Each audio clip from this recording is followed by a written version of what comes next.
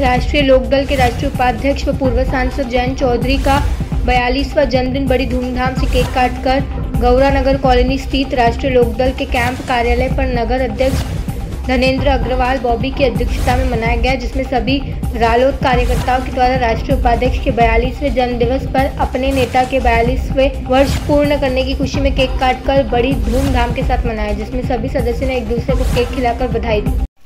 चौधरी जैन चौधरी राष्ट्रीय लोकदल राष्ट्रीय लोकदल जी आज क्या आयोजन किया गया है? आज राष्ट्रीय लोकदल के राष्ट्रीय उपाध्यक्ष पूर्व सांसद माननीय जयंत चौधरी साहब का जन्मदिन था तो उनका बयालीसवा जन्मदिन हमने बड़ी धूमधाम से केक काट कर यहाँ गौरानगर स्थित रोड पर बनाया है। और क्या कार्यक्रम किया गया आपके द्वारा केक काट केक काटने के अलावा? केक तो काटा ही है और शाम को कुछ गरीब लोगों के लिए कंबल वगैरह भी परिक्रमा में हम वितरित करेंगे।